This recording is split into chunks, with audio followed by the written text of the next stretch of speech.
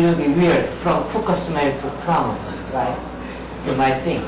So the Cucker is uh, Felipe Cucker is a is a prof, oh is a professor in City University of Hong Kong, and Stephen Smale, his colleague now at CTU. No, it's, he came back. He came in. Yeah, Steve uh, Smale came back to Hong Kong. That's good. My God. And Kuramoto, Kuramoto is a, a, a, a physicist in the University of Kyoto. He's now emeritus professor in physics department. So actually the real subtitle is flocking and synchronization. Okay, let me tell you why I choose this weird uh, title. Uh, actually, 2002, Steve Strogatz wrote down the paper, a survey paper on synchronization from Kuramoto to Crawford. The Crawford was a, a physicist uh, in the University of Pittsburgh. So if you combine these two titles, then from Cucker-Smale to Crawford. Okay. So first, uh, I'll show you some. I have to explain what the flocking and synchronization are. So I have to show. I'll show you some short movie, and then tell you something about this flocking and synchronization, and conclude my talk. Uh,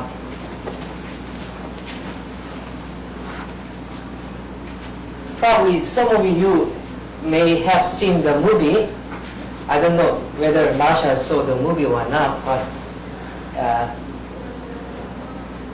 here is the uh,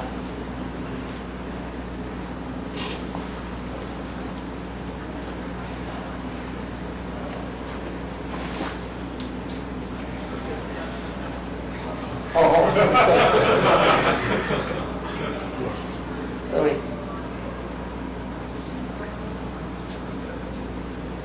So this movie I, I, I downloaded from some website. Uh, it's supposed to be a bird, whether you believe or not. So it's, uh, it's called flocking of birds. So the birds move as a group in one uh, with the same speed, same velocity.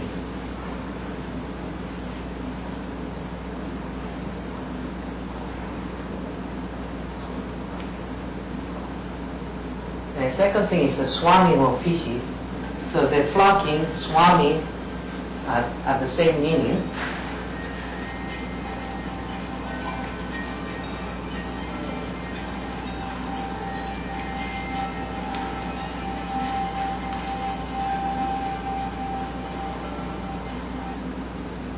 And this is so this is a cyanobacteria which is sensitive to the light. So the light is in this direction.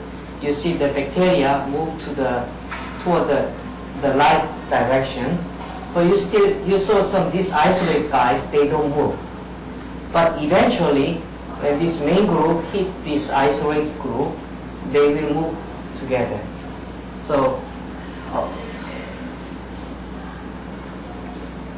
this is a real experiment done by uh, Bayaglu in Stanford University, uh, the Department of, uh, of Biology. So I got this, uh, this file from Doron Levy.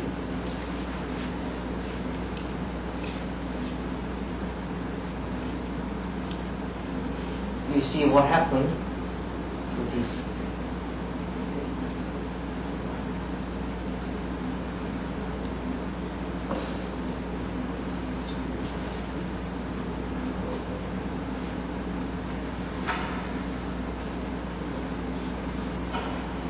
Okay.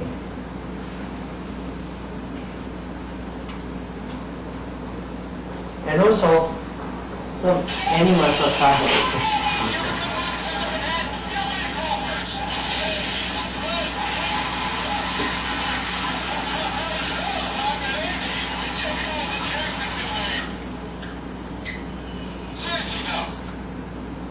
and also some human society. And you see this uh, grouping behavior.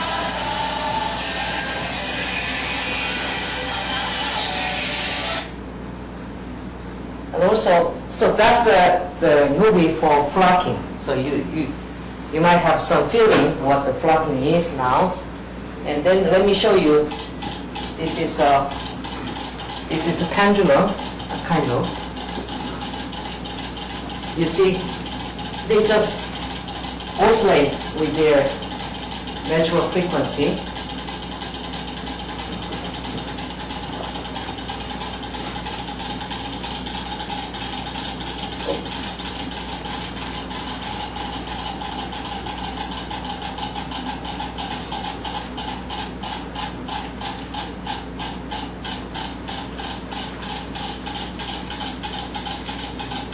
Okay, so you see, uh, they match the, the face together. Okay, so let me go back to my slide.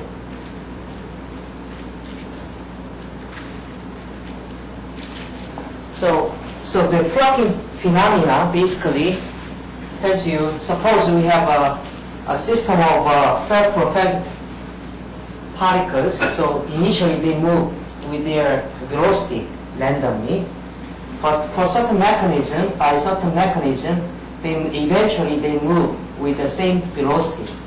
So they I call the, so it's transition from disordered state to ordered state, I call the flocking. Synchronization is a story on the rotors on S, on the circle. Okay, so if, if you have oscillatory system, your uh, your phase of the oscillator is a uh, periodically change, right? So you can visualize the uh, the oscillator like a rotor on a circle. So so so you have many oscillators on the circle. They move, they they, they rotate along the circle. So that's the synchronization. So then the natural question is what is the relationship between this flocking and synchronization? Since there is a certain relation, right? So flocking is kind is a is a is a concentration in certain say velocity. The flocking and the synchronization is concentration on the phase or frequency. So so the flocking represents some phenomena in which self-propelled individuals organize into ordered motion. So um, it violates the law of second, uh, second thermodynamics. If you look at just this uh, isolated system, but if you uh, consider interaction between the, the system to the environment, then eventually the second law of thermodynamics is not violated. But if you just look at the, this closed system, then it's violated. And also, the uh, so the kind of flocking is a concentration phenomenon in some phase variable. And so there was a lot of work from the community of biology in, from 1970s and from physics community what this this kind of works was started from the, the Vicsek in 1995 so it's quite recent work and in applied analysis that we are belong to, uh, started uh, from 2000. See? So I'm more or less I'm, I'm, I'm, I'm looking at this Cucker-Smale model. So in 2007, Cucker and Smale introduced some phenomenological agent-based model based on the following principle.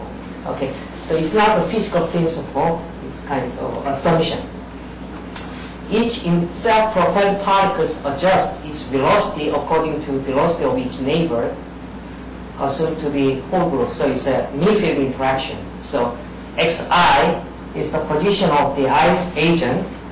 Vi is the velocity of ice agent. I, I assume that all agents have the same, same mass, same 1.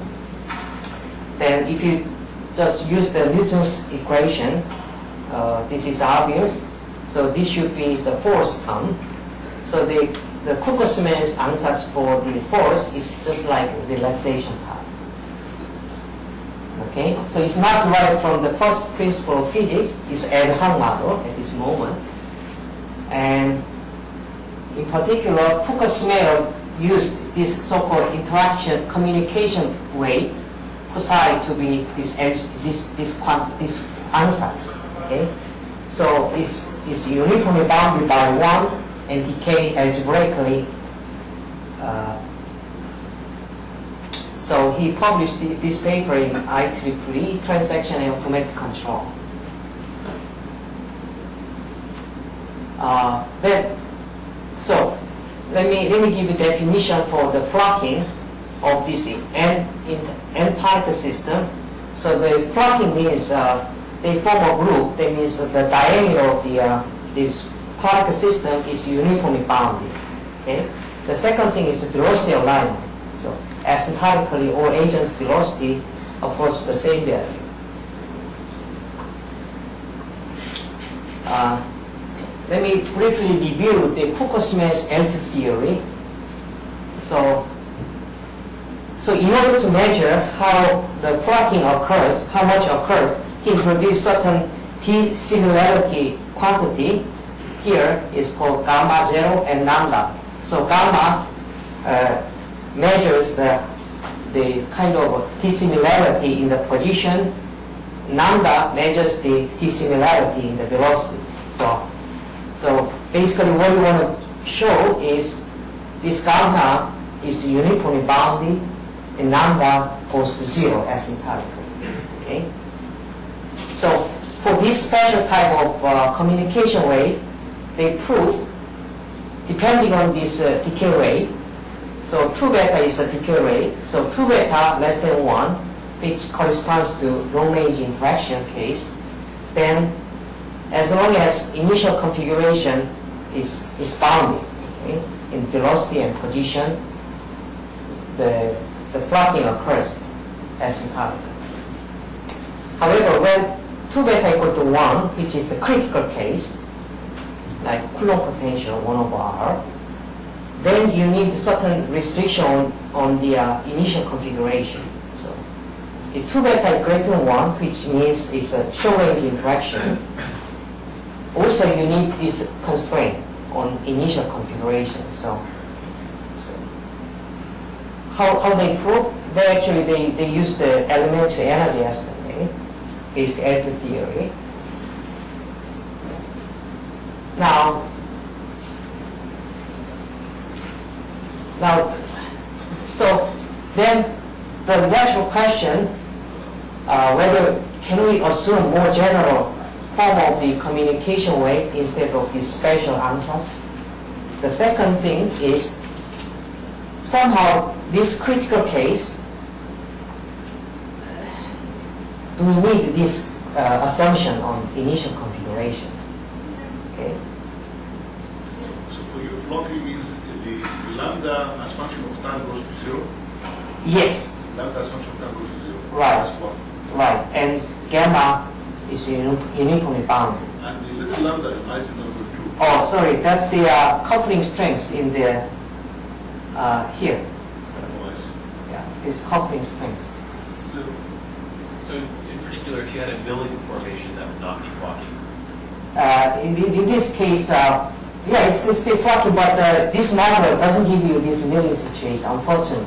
So I'll come back to that question I later. have one more question. You, in the results that they proved, this is independent of the size of M?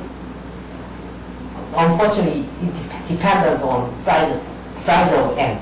Okay, because I didn't see it in the statement, so that's why I was Yeah, wondering. yeah. Because, yeah, Because the statement doesn't mention any dependence on. Right. So, so actually, in, in their model, there is no n here, but I put the n in here, so that's why it disappeared. But if you go back to their model, they, there's n dependence. So uh, I'll come back to that question also again. So, and then, so there are two questions. So can we use more general form of the uh, communication way, independent of special ansatz? So, so how we did? So we introduced. So if you have a particle system, then the natural thing to look at is uh, look at the, uh, the the motion of central velocity coordinate, right? And central mass coordinate. So you first introduce this uh, spatial average and the velocity average, and then the fluctuation around this average, like this, uh, kind of uh, standard deviations, okay? So remember, we have a, how- we have a 60 n equations, okay? Now, I'm- don't want to look at this big system, so what we do, first, uh, we, we consider the dynamics of the average and the, uh, standard deviation. Standard deviation is two scalar quantities, okay?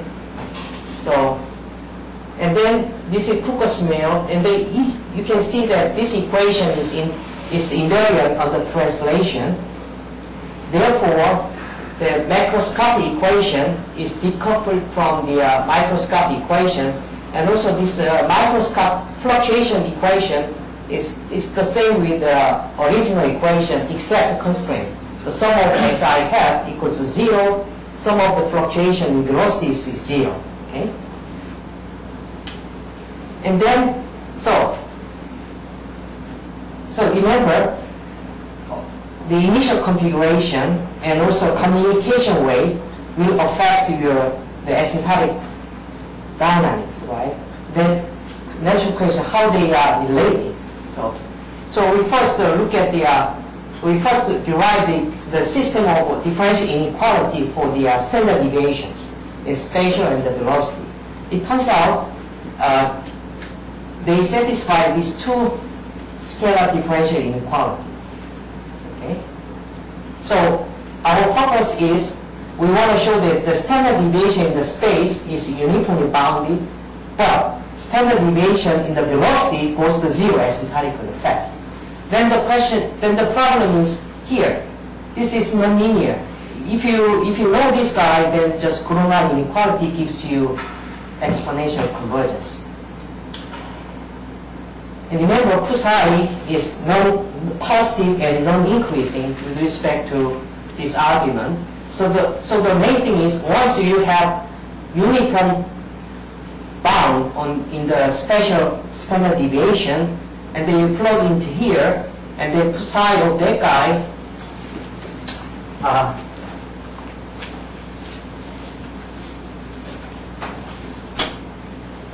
so so remember Once you can show this, that psi 2 square n sigma of x, this, uh, this guy is psi of 2 square root n sigma infinity, and you have a minus, minus. So if you use this bound, then the Gronwall inequality gives you exponential decay in the standard deviation of the velocity. So the question is how to, how to derive this uniform estimate in the special standard deviation. So how we did, we introduced certain functional, uh, for example, the, this plus case is uh, kind of diagonal functional. So we introduced this diagonal functional, which is the sum of the uh, velocity standard deviation plus minus of this uh, communication rate. And the spatial velocity uh, standard deviation appear here. So by direct calculation, you can show that this guy is non-increasing with respect to this uh, Cucker-Smale flow. And also it satisfies this Lyapunov estimate, stability estimate. So, and by using these two estimates, one can prove that if initial configuration and communication way satisfy the simple inequality, then you can show that there is a uniform uh, upper bound for spatial, spatial standard deviation, and also this uniform bound is determined by this equation. Okay? And also, so this gives you, again, this exponential decay in the standard deviation of the velocity. You see, but unfortunately, there is an independence here also. So that's the, uh, the problem. But nevertheless, for fixed n, for example, if psi equal to our critical case, 1 over s, then you, you see that if psi is 1 over s, then this is 1 over square root 2 square root ns, so this is infinity. So for critical case, for any bounded initial configuration, you still have uh, exponential convergence, exponential flocking. So that uh, that improves this Cucker-Smale's estimate here. Okay, so in fact, this is unconditional. Okay, so you can improve it, and you can do more actually. So using formal BBGKY hierarchy, you can derive formally you can derive this so-called Vlasov type uh, equation, but this is a dissipative. Uh, and and then with Eitan Tadmor, we we studied this uh, estimate for this kinetic model. So uh, so as long as the initial configuration is C1 and unit bounded, the bounded complex, uh, complex support, then for any finite time t, you have a unique classical solution and also this, uh, this functional decay exponentially depending. But here we have this uh, uh, a quarter as a critical exponent, but in Cucker-Smale you have one half. So there's a, a distance. It, actually, that was remo- improved. This estimate was improved by Carrillo and other people right after our work. And also they used the L infinity estimate, which is crucial because in this L2 theory, all estimate depends on the number of agents. But if you use L infinity estimate, the number of independence is gone.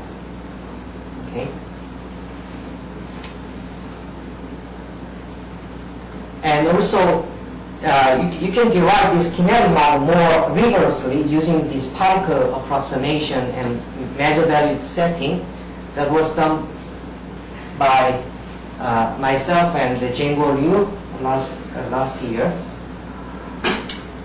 And also you can do, uh, you can take a moment of this kinetic model and then you just look at the first three, uh, first uh, three moment, then the equation looks like this.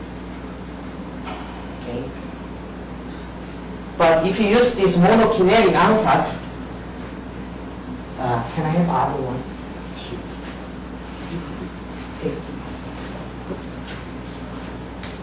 Yeah. So if you use this monokinetic ansatz, then the, uh, the, the moment system just becomes these uh, three equations. The interesting is uh, this is a pressurized gas system with flocking dissipation. So we have a non-local system, which is not standard. Uh, so it- actually, the psi equal to one case, you have this uh, actually Burgers equation with uh, uh, linear dam uh, relaxation. And then let me let me tell you some weak points of this Cucker-Smale flocking model. First, it's, it's an hoc model. It's not derived from the first principle of physics. The second thing is in Cucker-Smale model, we are basically we assume the point particles, so they can collide.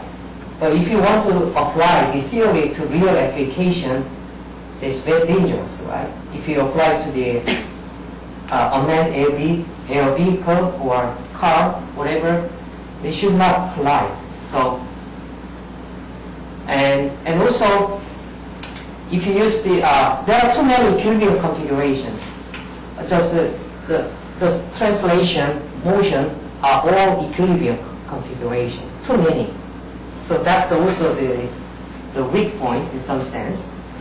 And also the asymptotic dynamics too simple, just translation. So it, it cannot describe this milling uh, solution. So, so now people are working on how to generalize this uh, Cucker-Smale model to describe these realistic uh, situations. That's on the on the on, on the studying now. Senor, Yes. can I ask you something? What does the first principles in this book? Well, this uh, What do you have in mind? Yeah. like uh, just a Newton equation, classical Newton dynamics with a certain potential. Think that it is, there is a selection of particles themselves, right? Yeah. So how you model that is not, you cannot model that with classical dynamics. Uh, You know, if you select what to do, Actually, you will see in a minute, we'll go back to the question, actually. right? So, because uh, when the Cucker-Smale wrote down this paper, they, actually they didn't uh, tell anything, and also I, I asked Cucker, how you derive the, the model? Just, just. Okay. yeah. Okay, so, so, so first question is the derivation of Cucker-Smale from physical model, some sense. So that's a joint work with uh, Rubino from L'Aquila and uh, Marshall Slemrod. Actually, sorry, this is Heist here.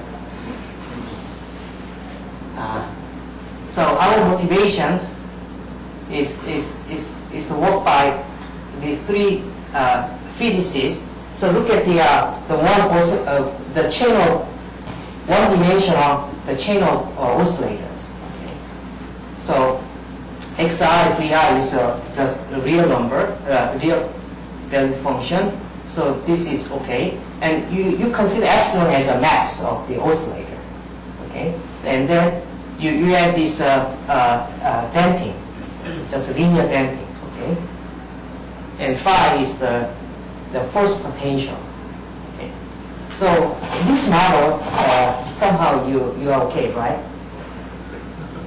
I mean, you're okay, I mean, I like it because I was thinking all the time, there must be two time scales Yeah. in the problem. The Yeah. one which is you observe things in, and the, the time of interaction between the particles should be much faster Yeah. to Right. synchronize their motion Right. than whatever you observe in the average. Yeah. And therefore, I'm introducing epsilon here, I'm happy because Right. you said there are two, there are two time scale phenomena. Yeah. Interaction time scale phenomena and average time scale phenomena. I don't know it until infinity because synchronize Yeah. immediately. Yeah. So actually, the, once the Marshall sent me email that I don't know how you found, but the Marshall add this uh, viscous uh, this damping, and in front of damping you have one over epsilon, eps- and take derivative. Okay, which, which is the case. So uh, don't don't ask me why I take derivative of this model.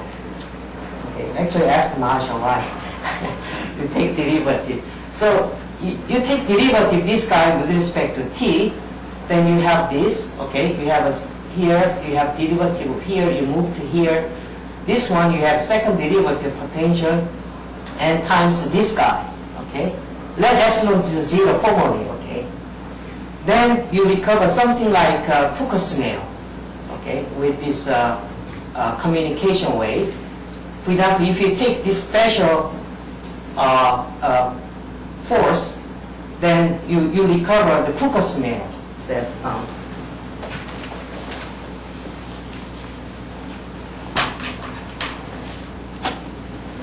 so d this vi dvi dt this is lambda of n sum j 1 psi xj minus i that's Vj minus Vi. Okay, that's Cucker-Smale. Actu- Actually, uh, this one can be made rigorously using Tikhonov theory. So that's the 1D case. So initially we thought, oh, 1D, that's enough. And then uh, the, the Lattanzio and uh, noticed that, well, you can do for the multi-D case as well. But if you take more, so this is multi-D version. This is multi-D version. But if you take any general poten- potential, you take derivative, then you have Hessian, where then it becomes so messy. But if you look at just radial symmetric potential, then you can do a similar thing, actually. So, uh, okay, so if you look at, if you take uh, derivative with respect to t in the second equation, then you, you have this. Uh, there's a typo here, but, but if you choose like harmonic potential, it turns out this guy becomes 1, this guy becomes 0, and so you have a kind of mapping equation that uh, Professor uh, Javaras talked about in the previous talk, okay, for special k to identity. And But if you, you can classify the admissible class of potentials so that you can guarantee the flocking. So, so, so we derive more general multi-D Cucker-Smale type flocking model with this new uh, term, actually. And also you can, you can do uh, this uh, flocking estimate. Now, let me go back to synchronization. Okay. Uh, synchronization uh, is, is mean, mean, meaning is the adjustment of rhythms of oscillating object due to their weak interaction. So you can see lots of example from outside. Uh, so, uh, so the the phase model for synchronization was uh, the I put the Poincare here, but I still don't know how what's the contribution of Poincare in this work. But uh, uh, some week ago, when I gave a talk at uh, POSTECH, the uh, Sergei Borotin pointed out there's something related to the Poincare. So I'm still uh, understanding what what that means. Uh, but this Adler, which Robert Adler, actually uh, did uh, this uh, prototype model in 1946, but his work is, was completely forgotten. And his paper was reproduced, reprinted in 1973. And then the Arthur Winfree did something, actually did important, important thing, and the Kuramoto introduced his model in 1975.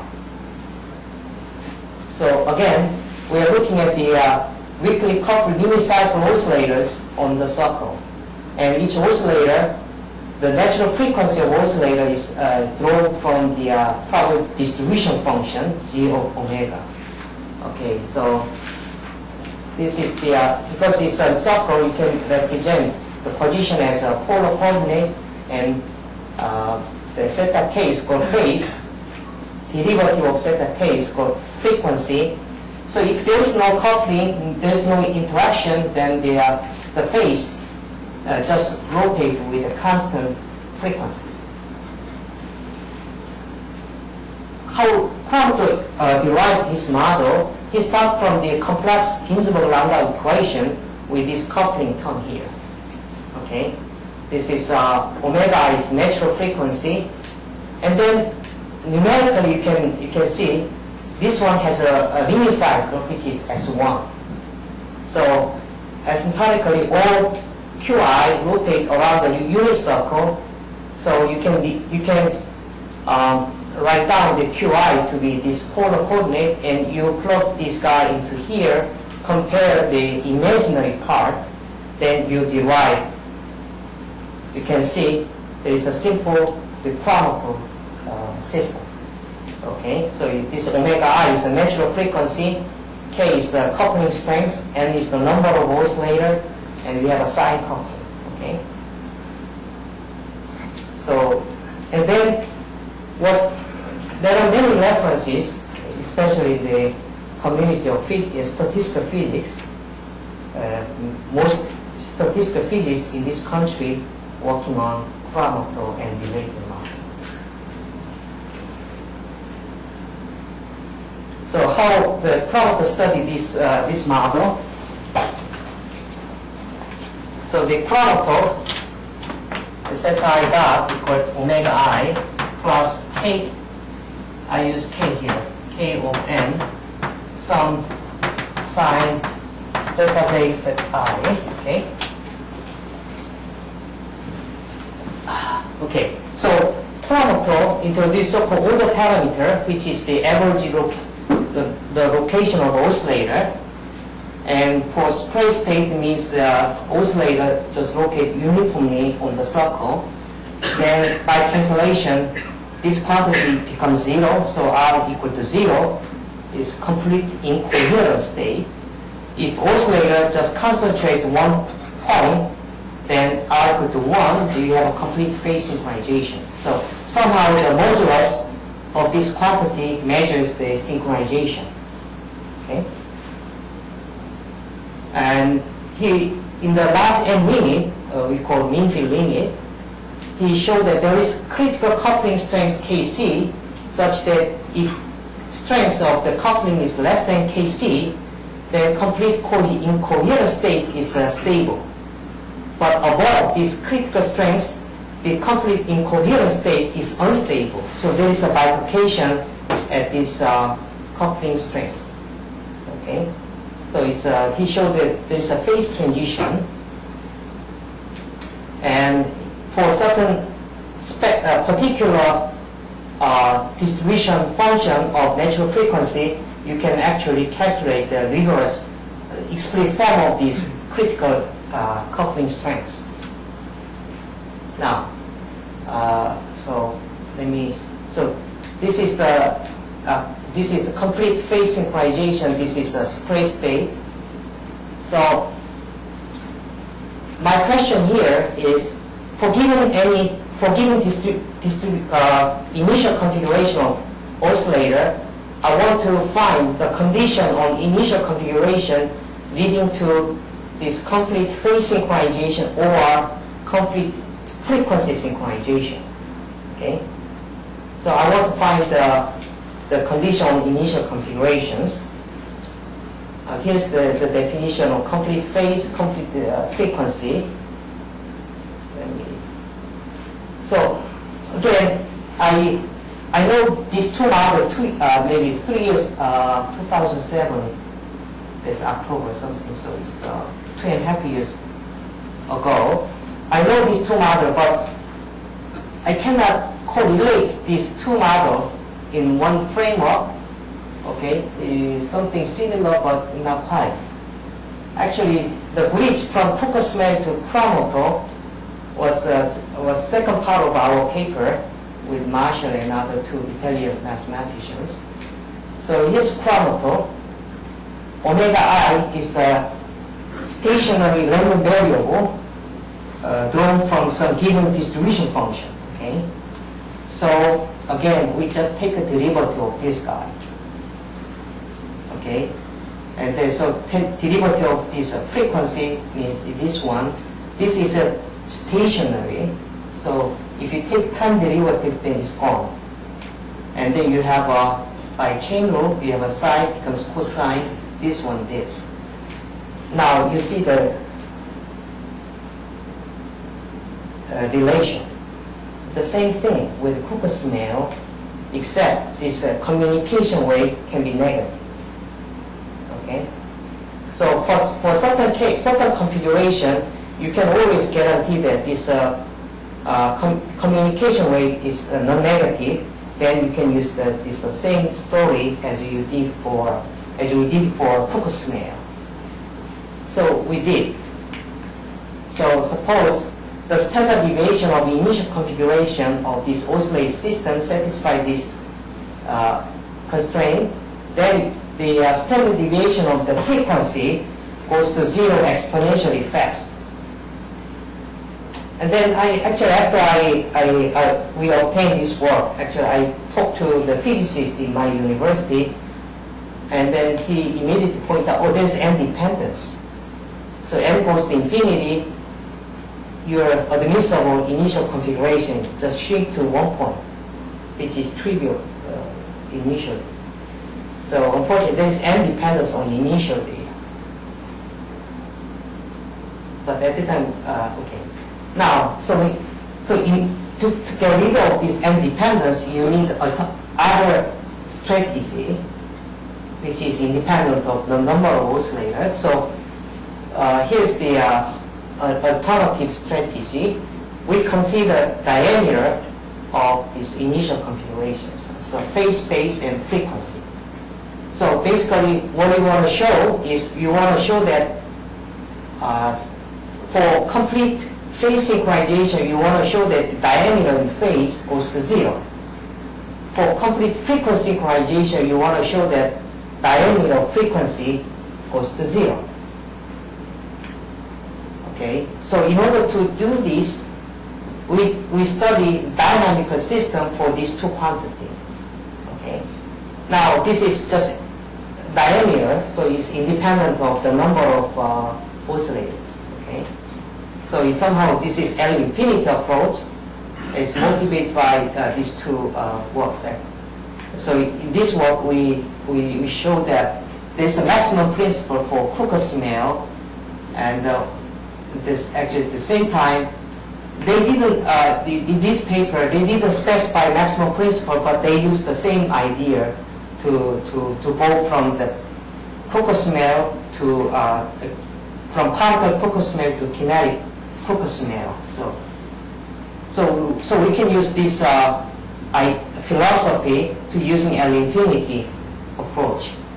So then you might ask why diameter? So if you look at two oscillator system here, and then uh, you, you consider difference of the phase and frequency, it turns out this, these two equation becomes one equation. This is a solvable. You can, you can find the explicit formula Actually, that was done by Adler, 1946. But if you use the Mathematica, just immediately give you the formula. But he did it by hand. so, so somehow this difference kind of uh, diameter, right? So the natural thing to generalize is just look at the diameter. What about large particle, large oscillator system? Um, again, you, you can, uh, you consider the average quantity and the fluctuations. So the average quantities just satisfy this, uh, this constant speed of this rotation on the circle. The fluctuation satisfy the same equation, and then for later purpose, we just take derivative of this guy to get this one. Okay, so uh, you consider maximal and mini, uh, minimal and maximum fluctuations, and then the diameter is just difference of these uh, extremal fluctuations, right? So what I'm going to do, I'm going to derive some differential inequality for these two quantity uh, by using by deriving differential inequality for these extremal uh, fluctuations. So for identical oscillator, that means all oscillator are the same species, so they have the same uh, natural frequency. So first thing that you can do, you first uh, no- notice the, the invariance, the existence of invariant set. So if initial phase configuration, the diameter is less than pi, that means basically all oscillator is located on the half circle, then the diameter doesn't grow. Why? That's easy to see here. For example, I is the maximum fluctuation, then as long as this is uh, less than, this is greater than minus pi to zero, this is negative, so the maximum fluctuation is non-increasing. Minimal fluctuation is non-decreasing, so the diameter should shrink. Doesn't grow. And uh, so you can show that um, under that initial configuration, actually the phase diameter goes to zero exponentially fast here. But you have this upper, this uh, decay rate and the lower decay rate are different, but you see, eventually this guy goes, uh, if you start from some last time, then this quantity approach to one, right? Because this quantity goes to zero at later time. So, so actually, oh, okay. First, let me let me tell you. Let me show you. Uh, this uh, so maximum fluctuation satisfy this differential inequality almost everywhere in T. So I, I, I skip that here. And so diameter satisfy this first order, this Gronwall type inequality. And again, the, and the low bound, you also have this, oops, this low bound. So again, if you start from the later times, then you can have almost as, as optimal time decay rate, which is, which is k. Okay, so uh, so the uh, complete phase synchronization implies the complete frequency synchronization. I have 10 minutes more. Okay. Uh, so you can do the same thing.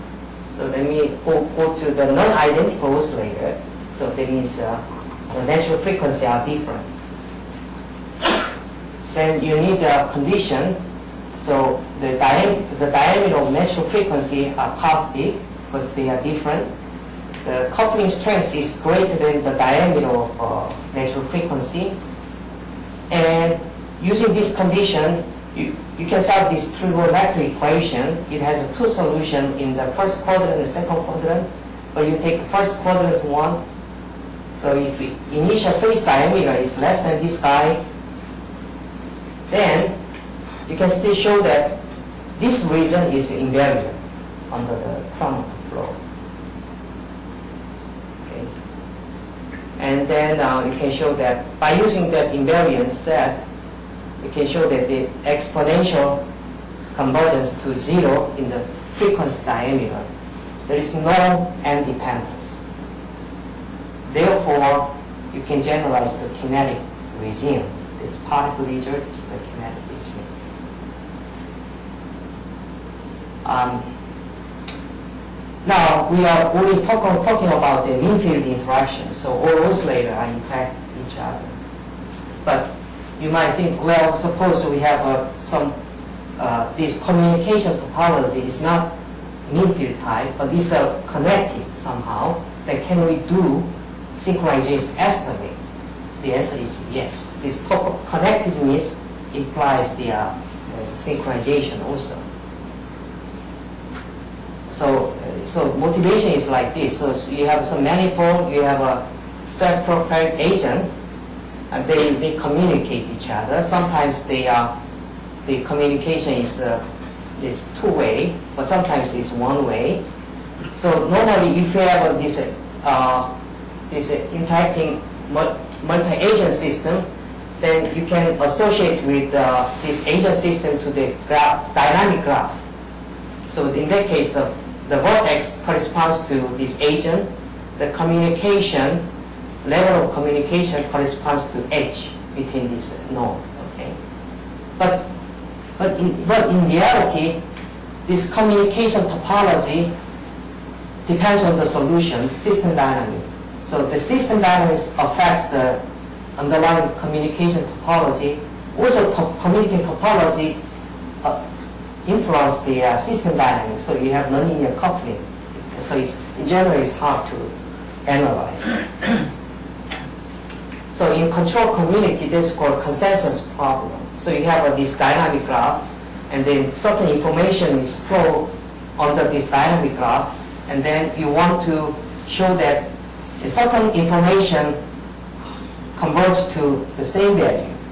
Okay, like flocking is the velocity, synchronization is a phase or frequency, so that's the part of the control consensus problem. Uh, more like uh, suppose you have a fireflies on the tree, they don't move, they just uh, just uh, stay in the, in the in the trees, and then so we want to show that when these uh, fireflies shows the uh, the synchronization. Uh, so the model is like this, okay. Uh, so it's like a Fukushima with this uh, a Kuramoto with this uh, uh, communication rate. So actually, it was used by the physicist. Oh, here, NK is the is the neighborhood of K uh, oscillator. So again, if you have this n, n oscillator system, then normally you can uh, associate with a graph here. So the question is, what are the structural conditions on the communication topology to guarantee the synchronization? And also for given communication uh, structure, find the sufficient condition on initial configuration to guarantee the synchronization. So the, the structure condition on communication topology is connectivity. Actually, uh, so for given two node vortex, there, there is a path connecting these two uh, paths. And also, I, I I didn't write down here, but there's a, here we assume that it's a communication is a symmetry, okay? Psi ij for psi jr. Then, if you do the just basic energy estimate, then you come down to here. well, then you- you'll see there's some problem. For example, uh, this one, in order to use energy estimate, you have to associate this one with, uh, with this quantity. But this is not the whole sum in LK, it's only this connected pair. For example, in mean field case, then this term can write down this way.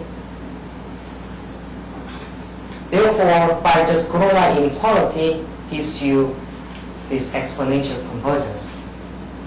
But now we don't have this, uh, this Min- mean field interaction.